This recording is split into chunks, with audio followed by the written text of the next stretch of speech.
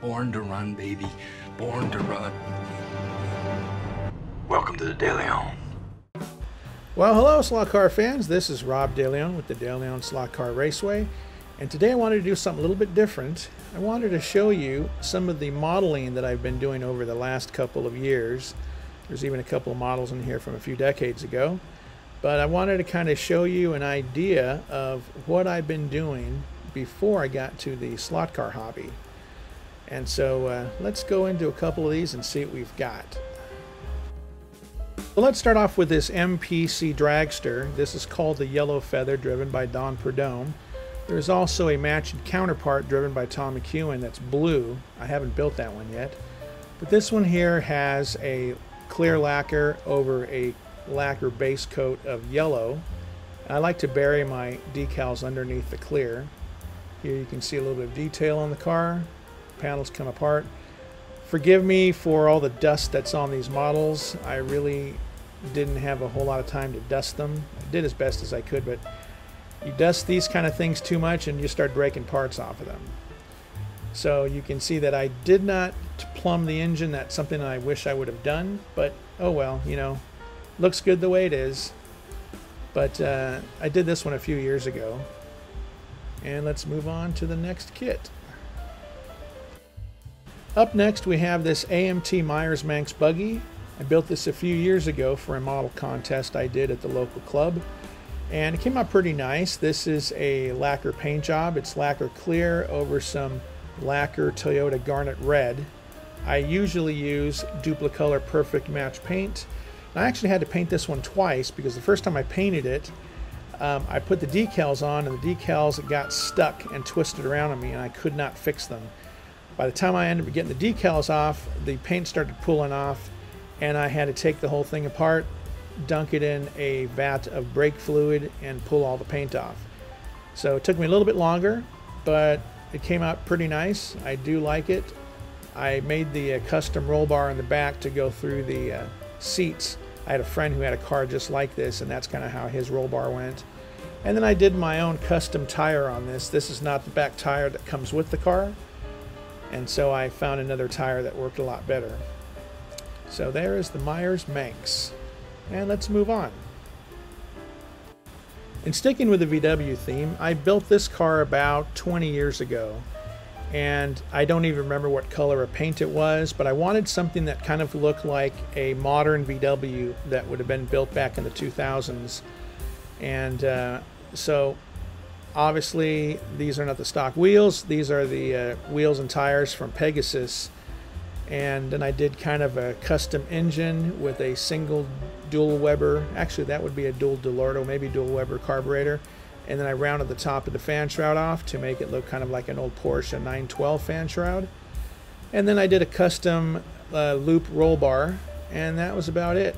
And so this one kind of just sits in my collection. And the tires are starting to crack on it and stuff, but it's an old kit. And we're going to move on. Now here, this is a 1970 Dodge Charger. I think this is an AMT kit, if I'm not mistaken and I did this one I would say about maybe 10 years ago I don't remember what kind of paint I used but you see there's the engine did not plumb this one as well uh, the wheels and tires are custom wheels and tires from Pegasus Hobbies and then you can see all the chrome trim that is done with a substance called uh, real metal foil actually no it's called bare metal foil and you can highlight all the chrome trim and stuff on the car. So, car looks pretty nice. I just every time I touch it, I get fingerprints all over it. So, but anyway, um, let's move on. And this is an AMT custom 40 Willys pickup. And this model kit actually comes with two kits in one. You can either build a pickup or you can build the coupe. And so I chose to do the pickup here. It's a gasser style and it's also painted with a charcoal metallic paint by Duplicolor. It's called Perfect Match. And then I buried the decals uh, with a bunch of clear on top. And uh, the paint job came out pretty decent. You can see here I was experimenting doing my first header bluing, and so that's what you see all the yellow and the red and the blue there on the headers, trying to mimic what a pair of chrome headers would look like once the heat got to them. Or they call them, sometimes they call it heat stained, but um, this one came out pretty good. I was pretty happy with it. Funny story on this car is I had finished it, and as I was working in my garage, somebody's stray pit bull came into the garage and scared the hell out of me and I knocked the truck off of the workbench onto the floor into a bunch of parts. So I had to rebuild it. Now this is a 1965 El Camino that I built for a special contest for our model club and it was to see who can build the best looking sleeper and so that's what it is. You can see here how I painted with acrylic paint to give it that flat finish. And then I oxidized the paint by fogging in some white. So you can see the bed is still the original color because it wouldn't get sun because the cap is on it like that. But um, it's a pretty cool car. I like the stock Steelies. And let's see if we can go ahead and take a look at the interior. Uh, I did the interior like those old cars of the 60s where they had that metallic sort of uh, sparkly material in vinyl wanted to really stand out and the engine's nothing special, just basically a small block Chevy. I didn't plumb this one either, uh, but I did blue the headers a little bit so you can see the heat staining right there. And that was about it.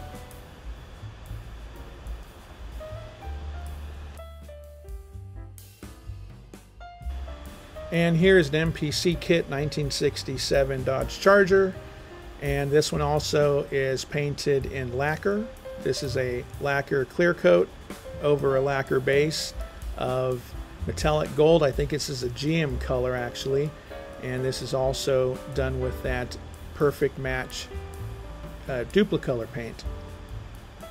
And so I really like the way this one turned out. I lowered the body a little bit onto the chassis to kind of give it a little more aggressive look and kind of did the drag style rather than like the custom or the lowrider version. So there it is. Just going to go ahead and put that hood back on. Usually I leave these loose so I can have them closed or opened or whatever. And we move on to the next car. And here is a really famous company out of the Ukraine. I believe the company's building and, and factory and facilities got damaged in the war, but they make some spectacular kits and you can see here I put this one on a homemade little vignette.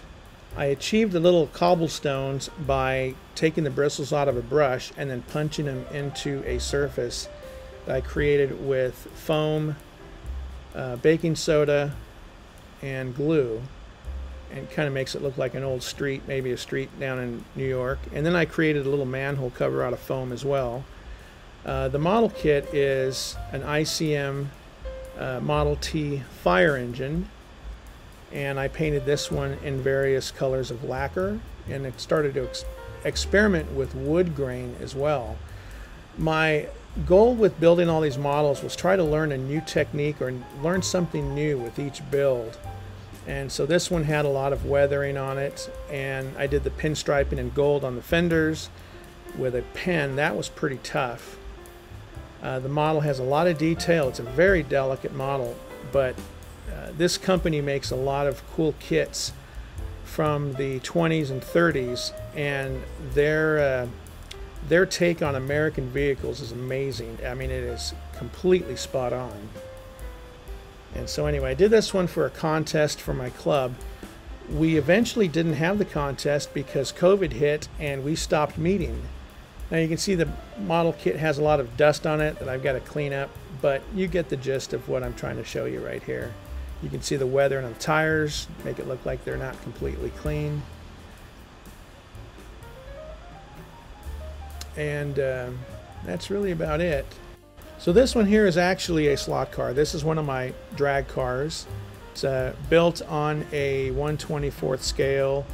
I believe this is a Revell snap together new Beetle kit and I put a custom interior in by, I believe that's Caveman Interiors. And I built that custom wing on the back and cut the decals myself with my vinyl plotter and then added the decals one color at a time as well as the numbers, the gumball on the sides. And as you can see, it's got uh, Hoosiers in the front. I actually ordered Hoosiers for the rear tires as well, but they actually sent me Eagles. And there's the chassis I built. It's just a soldered together chassis. And I usually like to paint my chassis with some uh, black epoxy paint. And that's basically it. You can see the uh, little decals I did up front here, the signals. That's all vinyl. And the paint again is an actual, it's an actual Dodge color. And it's kind of an off-white, just like the real Herbie. And it's also been cleared.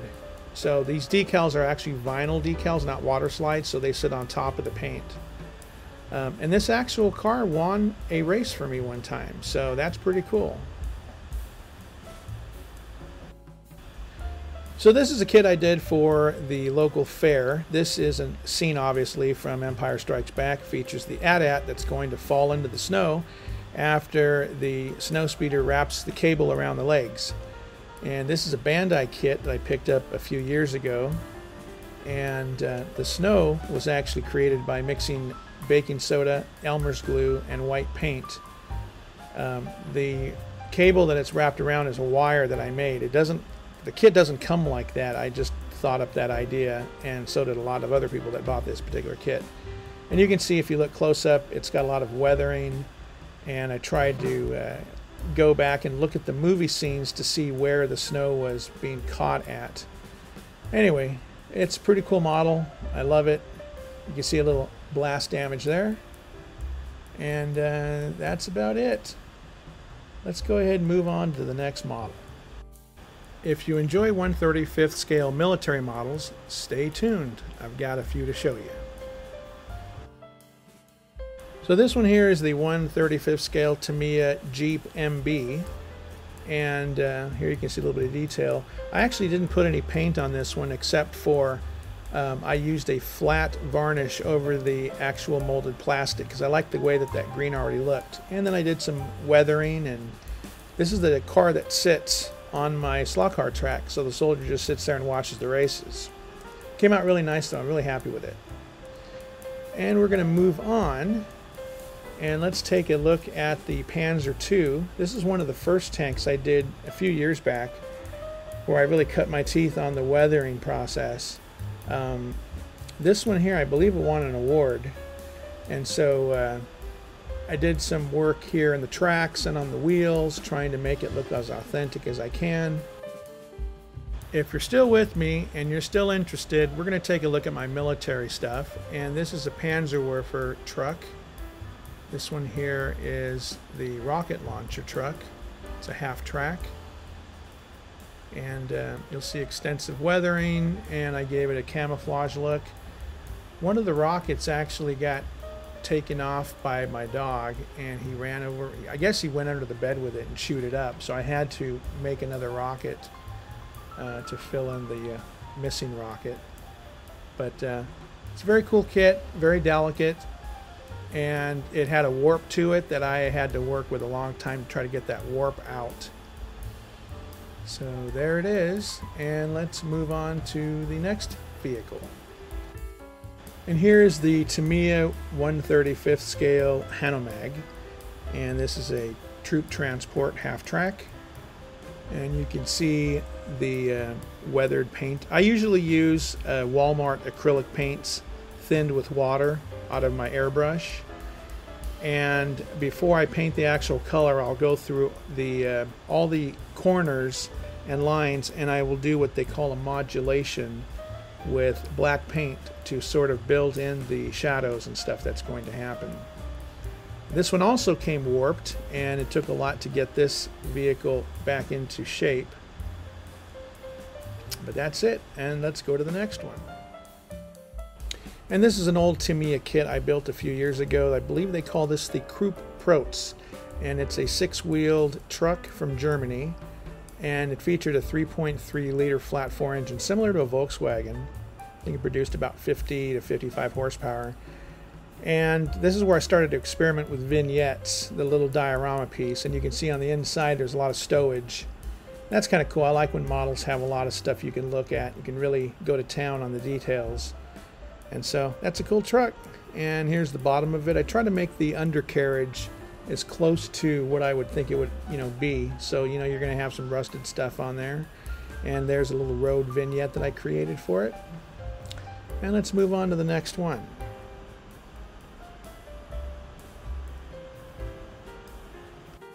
So here we have a 135th scale Academy model that I built when I was camping in Morro Bay a few years ago. And I just had a lot of time in my hands and I decided to go ahead and start experimenting with battle damage.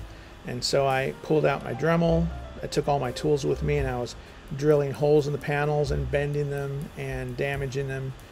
And so I uh, used a lot of weathering techniques in the tracks and on the wheels. I love the way the color came out.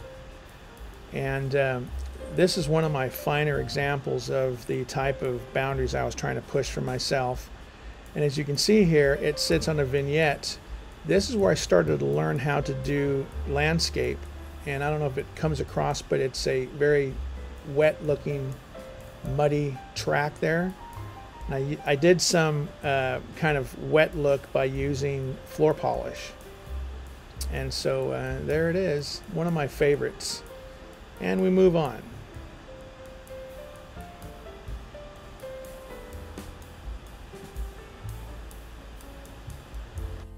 This would probably be my newest tank build, and this is probably one of the most difficult builds I've done. This is a 135th scale. I believe it's called a Jagdpanther, and the company is a Japanese company called Nichimo.